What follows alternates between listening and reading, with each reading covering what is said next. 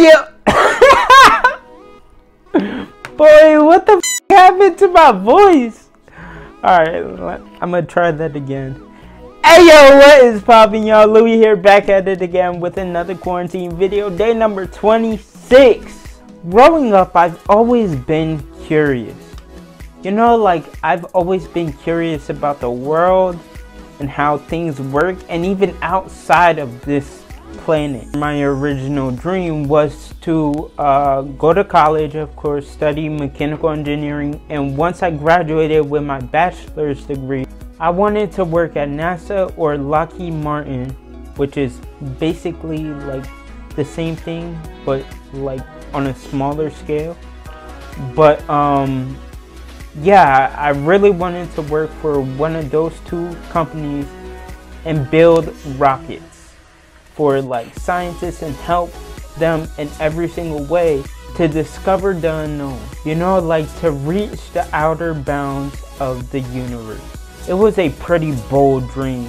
The original reason I wanted to work at those two places was because yes, I was curious, but also because of the money. Before my junior year in high school, I wanted to work on like cars and little things like that. But then I realized that like they only paid like 60k, 70k, which I mean, it's a lot. It's a decent amount of money, but like I wanted more. So that's why I went to um, went to Rockets. I wanted to do something bigger and make more money. The people who work at those two places make close to or over six figures based on your experience. That was my dream job. But the only two things that were stopping me was one, calculus, and two, my grades. Calculus, I already told you guys this in previous videos, but it me over. It really did because um, I wasn't expecting it to be that difficult. Calculus is like a foreign language. It's like Chinese or something like that. It's so different from like algebra and geometry and all those other math classes. Even statistics. Statistics, that's even worse. My grades were too to become anything, honestly just because I needed like a 5.0 just to get into like NASA or Lockheed Martin. I needed a 4.0. I was over exaggerating or a 3.0 I think. I'm not sure, but I need a high GPA and that was not happening with me. I don't want to say I'm stupid because I'm obviously not.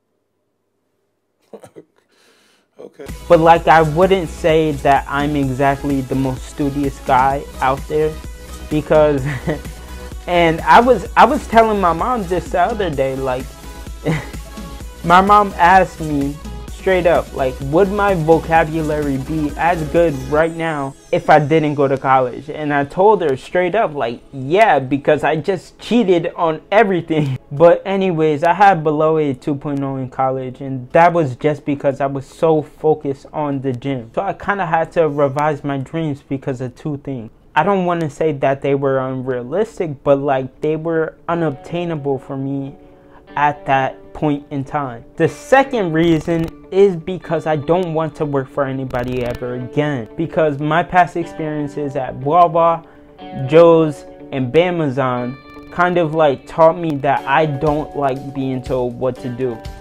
You know, like I can't stand working underneath of anybody and helping them chase their dreams and their goals like that I want to chase my dreams and my goals.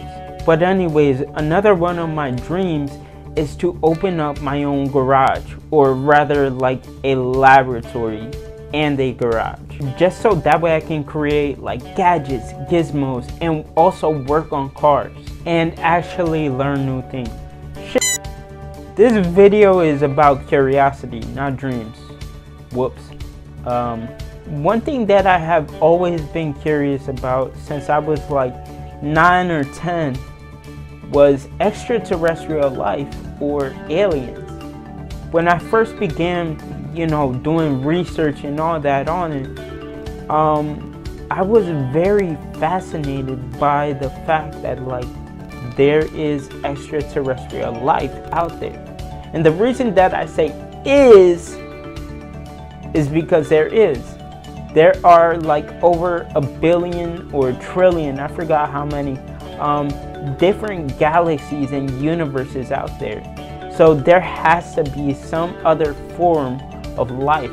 Many people don't believe in extraterrestrials because of the fact that like the US government hides a lot of from us. Although for the first time in history, the US has actually exposed some videos of unidentified flying objects or UFOs. Other people just think that we're alone.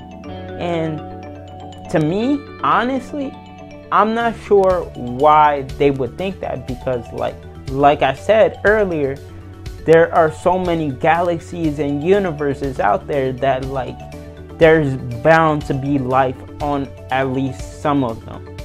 I feel like it's actually preposterous to believe that there isn't anything else out there. The only question is, why would the US government try to hide, you know, like aliens or UFOs and all that? I can't speak upon the entire US government, but my guess would be that they don't want to lose control of everybody. For example, George Floyd the entire nation went absolutely insane because a white officer killed a black man. Another one. That led to some rioting and some looting. Now imagine that the US tried to drop a bombshell like, oh, aliens exist. The entire nation would go berserk. They would probably tear down the doors of Area 51 just to get as much information as possible. I'm gonna close this out by saying that aliens exist and it's only a matter of time before we all find them. Anyways, as always, much love, be safe, and catch you tomorrow. Peace!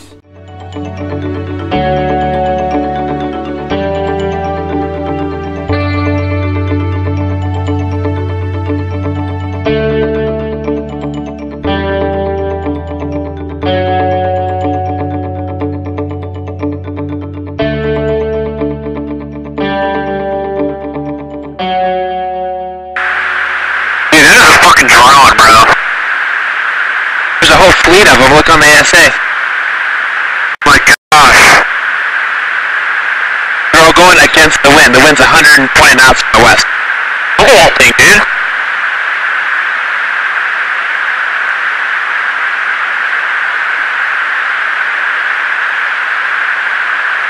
That's not our LNS though, is it? It's not. That is the LNS, dude. Well, if there's like... Look at that thing!